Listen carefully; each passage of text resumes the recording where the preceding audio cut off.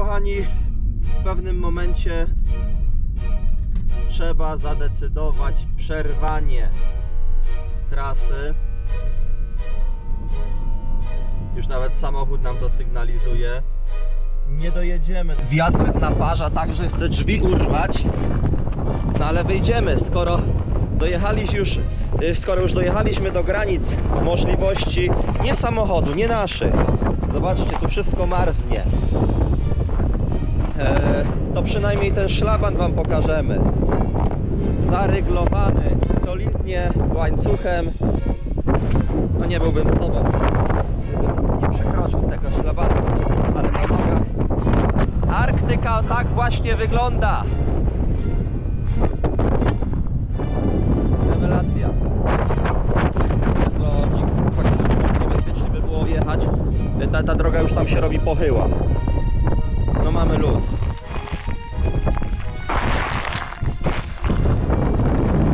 Zamknęli nam drogę, więc musimy nawracać. Szukamy miejsca, gdzie możemy wykręcić, bo tutaj wszędzie jest lód. To czasami bywa w Arktyce, że pewnych e, stanów rzeczy nie da się przewidzieć. E, My podejrzewaliśmy, e, że w pewnym momencie tak się stanie, ale nie podejrzewaliśmy, że stanie się to tak szybko. No cóż, lecimy w takim razie eksplorować nieco wschodnią część Skandynawii.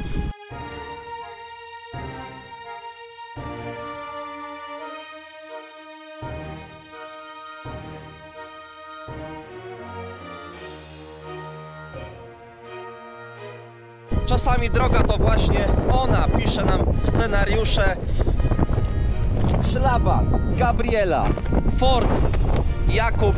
Kłaniamy się, zapraszamy na nasze Instagramy. Kuba Daniel, Gabriela Daniel, a my uciekamy do samochodu, bo jest siarczyście zimno. Jakub, pokaż widzom, jak lubisz lód i śnieg na drodze. Ja troszkę mniej, na na na.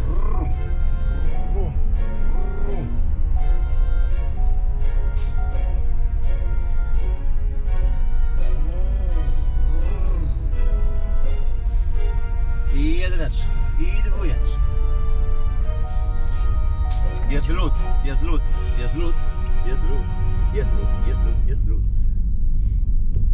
Przestawiłeś Są nawigację? lody ekipy. Przestawiłeś nawigację? Są lody ekipy i jest też, są też lody Daniela.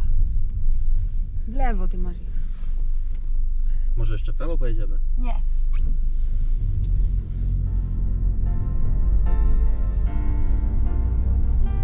Dobra, lecimy.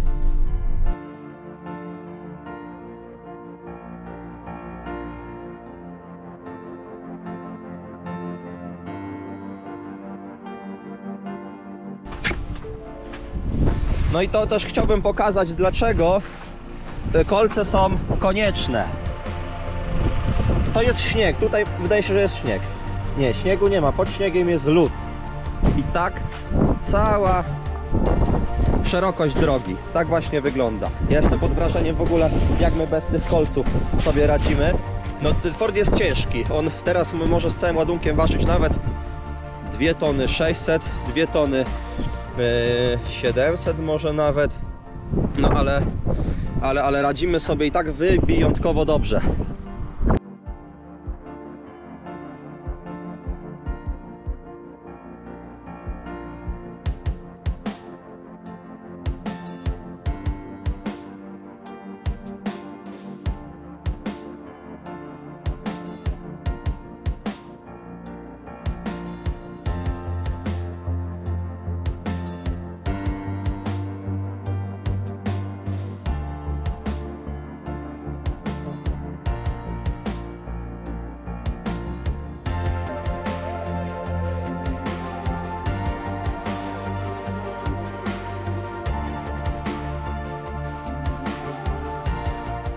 Co jest jeszcze ciekawe, to te jeziorka jest tak naprawdę temperatura blisko zeru, blisko 0 stopni, a te jeziorka są już bardzo mocno, widzę, pozamarzane. Będziemy się zbliżać powoli do Szwecji. No i faktycznie, tam na tych jeziorach możliwe, że testują opony Nokian, ponieważ no, ta warstwa już widać, że jest bardzo gruba, więc można bezpiecznie by było wjechać autem.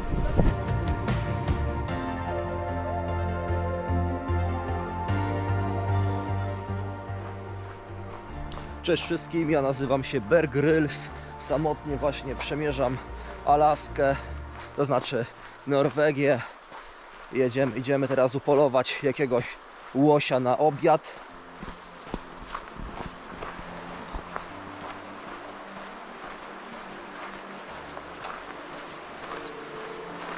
O, bez problemu nawet przyjedziemy tu samochodem. Dwie tony deseczki, o.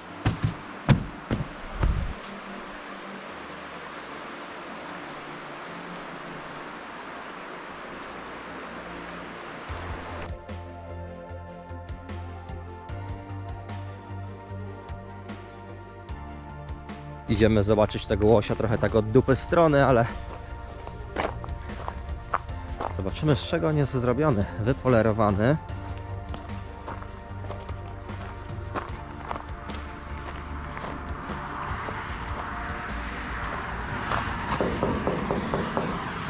Rewelacyjnie to wygląda. No takie jakby wyszedł na drogę, to by było strachu co niemiara. Tam był, słuchajcie, łoś, a tutaj proszę bardzo, Daniel.